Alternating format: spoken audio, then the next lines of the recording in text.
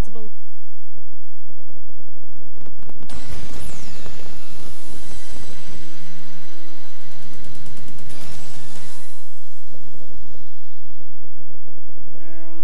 Welcome to Gospel Truth.